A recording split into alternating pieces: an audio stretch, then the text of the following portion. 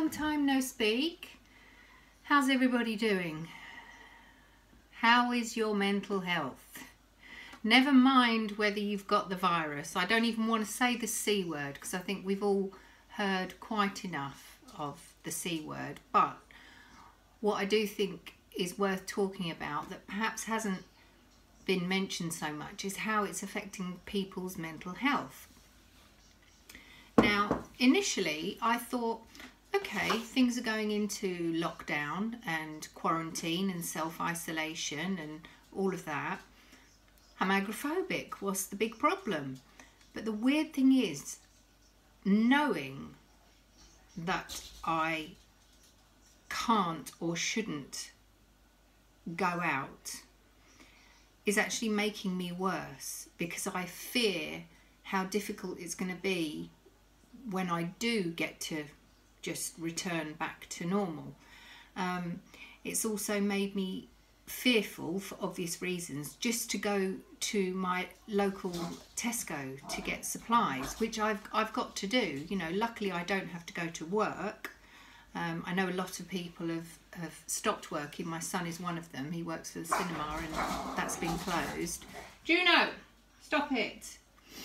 Um, and my other son his college is closed so he's at home uh, my um, partner is still going to work, but I think that will probably stop um, very soon. And and then we'll all be at home together. Now, I've been trying to clean. Obviously, you clean anyway, but I'm. I, it's made me really paranoid. Um, you know, I've been told I verge on OCD with certain things. One of my big things was germs because I've got emetophobia, you know, a fear of being sick. Um, so I'm always really hot on things like the dates on food, whether whether it was put in the fridge quick enough after we, you know, got back and unpacked the shopping. Um, I know that if ever someone's left the fridge door open, which has happened on a couple of occasions, and uh, I know which person in the household did it.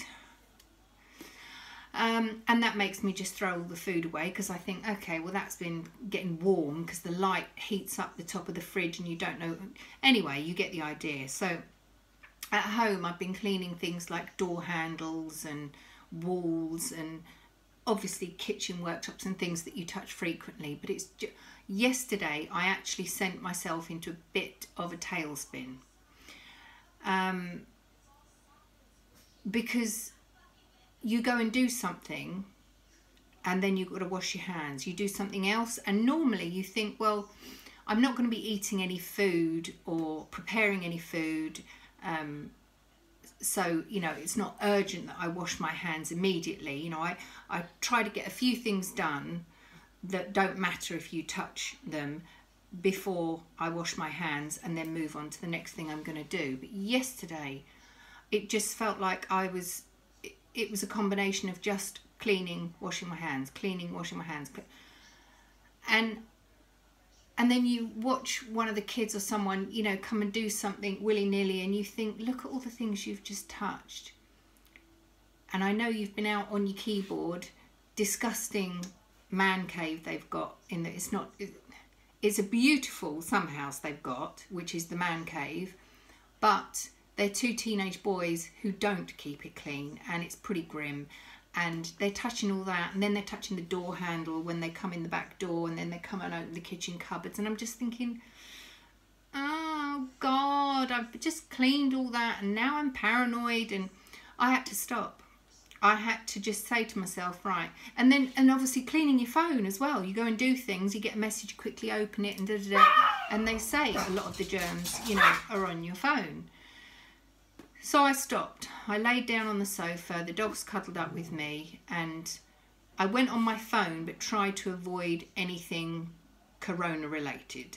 Um, and it did start to relax me a bit. And then I got some messages from friends, you know, and that's all corona related. Even if it's humour, it, it's still in the back of your mind, you know, oh, you know, this is serious and I know people are making jokes about toilet roll and pasta and all of that. But, you know, looking today when I woke up at the queues outside shops and things that people can't get hold of, and, you know, it could get really bad.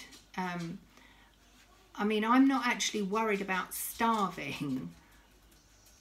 I'm I'm worried about the repercussions if one of my family gets sick or and I can't get to them or I can't visit them or I can't help them or they die and it all just snowballs.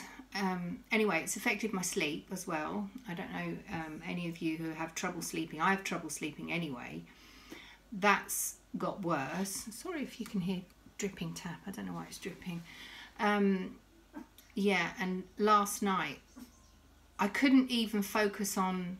I mean, yesterday I tried to do a puzzle, and I couldn't even focus. I put I put YouTube on on just a documentary and tried to do my puzzle, and my mind could not focus. I couldn't sit still and just do a puzzle. I was too ramped up, you know. Um, and then last night, you know, after dinner, partner and I thought, oh yeah, we'll put Netflix on, you know, lay in bed, relax and we put the film on and I just I could not get into it. I mean it wasn't really my kind of film which didn't help but normally I would sit through it and no big deal. But my mind was elsewhere and I could feel myself getting more and more uptight. Um, I mean my shoulders are awful at the moment um, really could do with a proper good massage but chances of that are zero. Um, and in the end i just he he said oh you're not enjoying this film are you? And i said no you know and and he was like well you know i need to get some sleep so i've got to get up for work anyway. So we turned it off. He put headphones in. He was asleep within minutes. I got my colouring book out and i'm sat there and i've got my headphones in you know listening to a documentary and i'm colouring and i just could not calm down. I look at the time it's getting on for three o'clock. I just thought, this is ridiculous. This is ridiculous. And then you start not panicking, but getting like an anxiety attack because you're like, oh my God, I'm not going to sleep. I'm not going to sleep. And I'm going to feel even more shit tomorrow. And, da, da, da, and what if this happens? And have we run out of that? And I, I ended up taking a, um, a diazepam and and that was enough for me to I just put the colouring down I tried to focus on the documentary. I know they say you shouldn't play on your phone and watch screens. I didn't actually watch the documentary, I was just listening to it. And then gradually I could feel myself going off to sleep. And I actually had a pretty solid night, which is, is a first in, in quite a while. Um, I just keep waking, and I've been waking with night sweats, which I know are anxiety related because when I start to get anxious in the morning, I can wake up first thing and feel fine. I come downstairs, I get on my phone, and as my anxiety builds, I start to break out in a sweat. So, anyway, um, haven't done any practice or exposure. Um, I have been out on a, on a few dog walks. Um, I visited my parents, but I did social distancing. They sat in the conservatory with the door open, and I sat in the garden in the rain, not horrendous rain, but in the rain with an umbrella.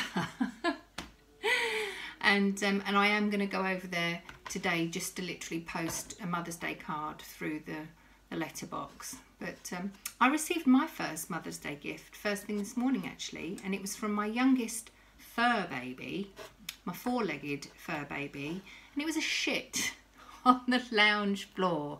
Thank God I've got laminate floor and not carpet, but um, yeah, happy Mother's Day.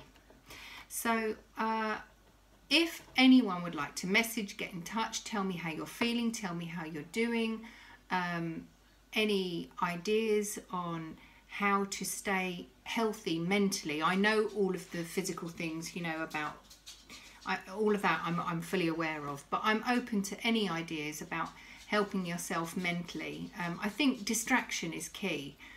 Um, I'm doing my best to not just use cleaning as a distraction, which is what I've always fallen back on in the past. I'll go on a cleaning frenzy, um, but like I say, yesterday it didn't do me any favours. So, um, anything else that you can think of that might be fun, um, that you do on your own because basically my two boys are in the man cave and other halves at work. So it's just me and the doggies.